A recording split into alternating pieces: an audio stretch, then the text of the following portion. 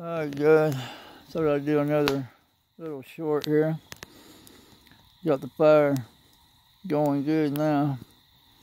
And uh, as you can see, I mean, it's just pitch dark everywhere else.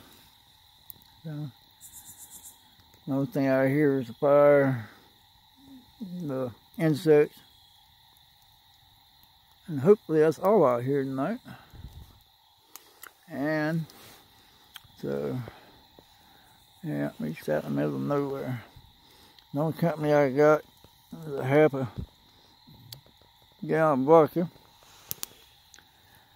And uh, some Michelob Ultra. And that's about the extent of it. Anyway, y'all have a good toasty evening at home because when you step away from this fire, it is getting cold up here. So, just got to make it through the night. All right, guys. Y'all take care.